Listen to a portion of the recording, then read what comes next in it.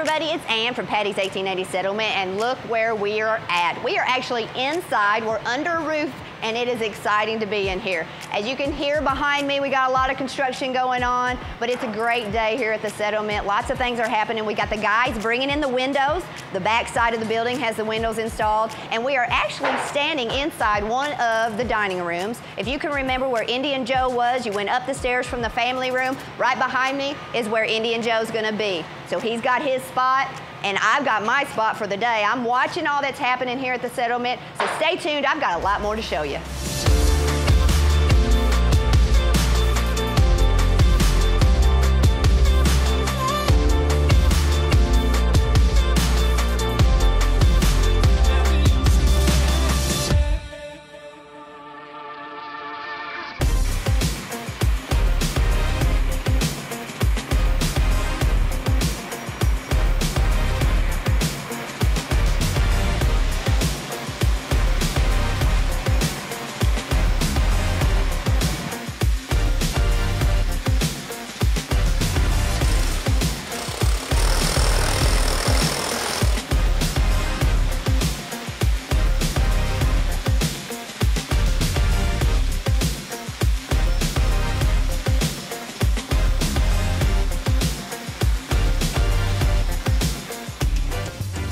And here, guys, is the big reveal. We have been talking about the atrium in the last several updates, and it is finally here.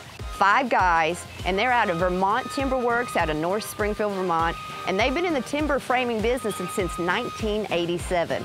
That's about our time here at Patti's. We've been here just a little bit longer than that. But this, this company is the industry leader in timber framing and post and beam construction. Every timber in this atrium has been designed in-house and handmade by the experienced craftspeople of Vermont Timber Works. And it is gorgeous, and we cannot wait for you to walk through it. I have got Brent with us here, again, the superintendent of the job. And Brent, now that the atrium's up, I guess you already had in your mind what it was gonna look like? Yes. You already knew it. Yep. We didn't. But we are ecstatic because it is gorgeous. Now tell me though, you had to make the two buildings match up to it. That's right. And how did it do? Uh, we got about a half inch. A half inch. So now we've got it up. Where do we go from here? Now they have this, I have to build around it with my walls. And we're, this will be all windows up Right. through here. So you, I mean, you're see through it and you actually see the timbers from the inside. So you won't actually see the timbers from the outside. Right. But then uh, we go up on top, we have to deck it. It'll be tongue and groove, so when you look up there, it'll, it'll just be wood, it'll be pretty.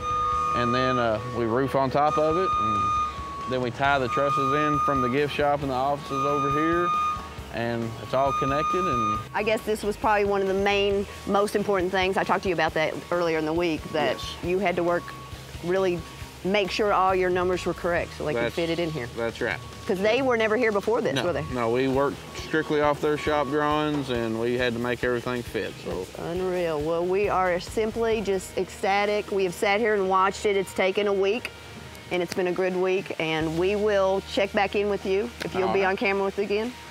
I guess. Okay, good. Well, we'll hold you to that.